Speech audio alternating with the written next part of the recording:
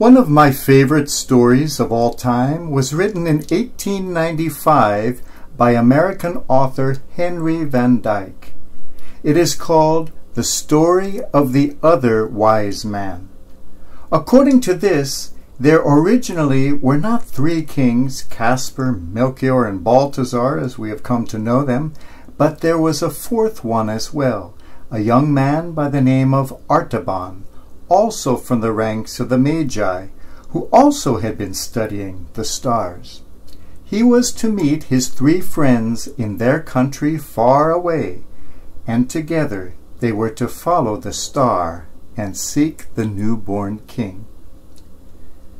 The other wise men had prepared gifts of gold, frankincense, and myrrh. Artaban wanted to bring gifts too, so he sold everything he had to purchase three jewels to bring to the newborn king a sapphire, a ruby, and a pearl. When he saw the star rising, he set out to meet his friends and follow that star. On the way to meet them, he came across a dying man on the side of the road. Artaban fell into a quandary and thought, What should I do now? If I stop to help this dying man, I will surely be late to meet my friends. They might go on without me, and I might miss my opportunity of finding the king. What shall I do? Shall I risk the great reward of my faith for one single act of human love? Can I deviate even for a moment from my pursuit of the star? In order to help a dying man. Artaban did not pause for long. He came down from his horse and nursed the man back to health before continuing his journey. Arriving at the house of the other magi, he found that they had already departed, leaving him a note saying they had waited as long as they could. Artaban was in despair he thought, I can't make this journey with what I have. I'm going to have to sell this sapphire I had for the king in order to buy a camel and provisions for the long journey across the desert. So he did, and he set off for Bethlehem, where he knew the King of Kings was to be born. But when he arrived in Bethlehem, he found that his three friends had already been there, left their gifts with the newborn king, and departed. What was more, Mary and Joseph and the child had also already departed for Egypt in fear. This was all told him by a woman nursing a child in her home. As the woman gave him something to eat, and he played a little with the child, Suddenly there arose from the streets a tumult of voices, weeping and crying. People were shouting that Herod's soldiers were coming and were killing all the children. Without thinking, Artaban stood straight and tall in the doorway of that mother's house as the soldiers came. In his hand he held the ruby he had bought for the king. The captain of the guard asked, who is in this house? Artaban said, I stand here alone, with a ruby in my hand for the first prudent captain who will leave me in peace. The captain looked at the magnificent jewel, pocketed it, and called off his men, saying, There is no child in this house. Let's go on farther. Artaban's conscience was bothered that he had now spent two of the jewels reserved for God, spent them on human beings instead. How was he ever to be worthy to see the face of the king? But he went on his journey, traveling to Egypt. Every time he arrived at a place where he heard the Holy Family was, he discovered that they had just left so he went from place to place, from country to country, always in pursuit of the king, and never finding him. But he had been told that the king was not to be found in a palace, but amid the suffering people. So he spent his time among the starving, among the poorest of the poor. He spent his time in the wretched prisons. He spent his time visiting the sick. He spent his time with the slaves. All through those lands, all through those years, in this world of anguish, that other wise man found none to worship, but many to help.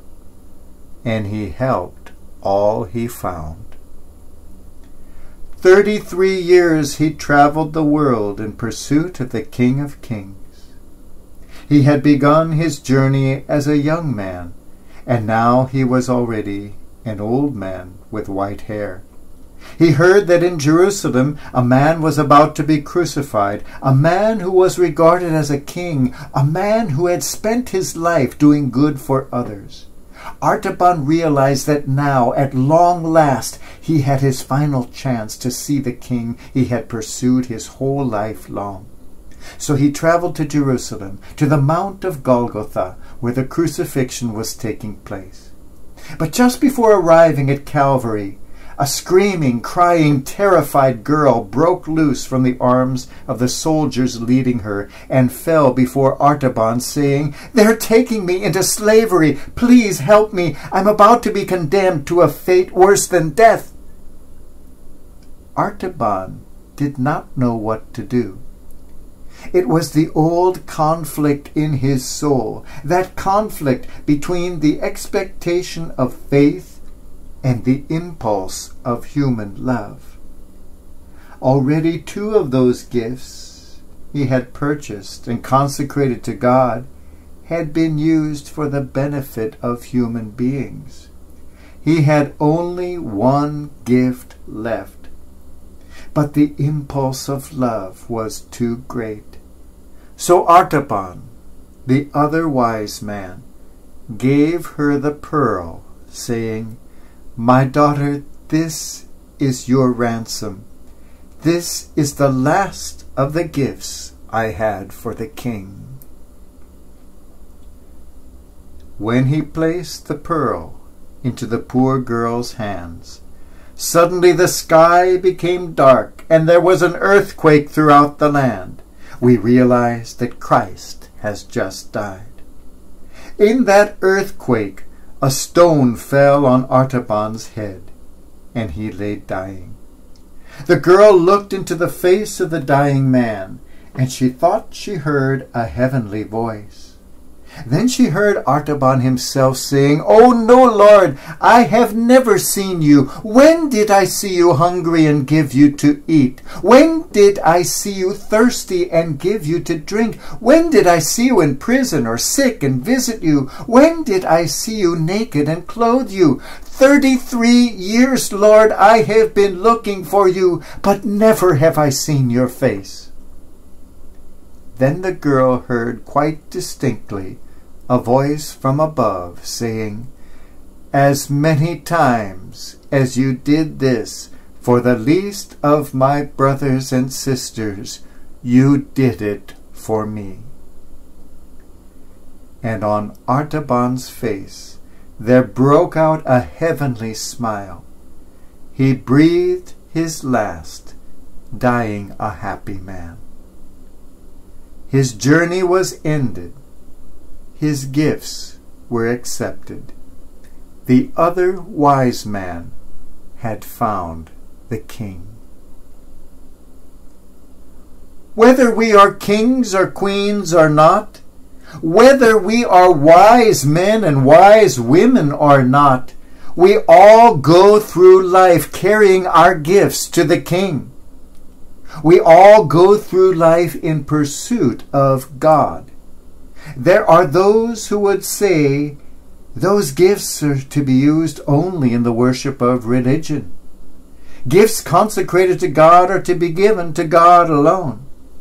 Yet every step of the way we are confronted with suffering humanity. We are confronted with the conflict between saving what we have for God alone and giving into the impulses of human love. There are those who say that we are never to give in to the impulses of love, that the worship of religion is all that matters. Yet the story of the other wise man and all the teachings of the Christ show us that it is precisely when we give into the impulses of love that we find the King. And at the end of our journey, our gifts too will be accepted, and we too shall see the King.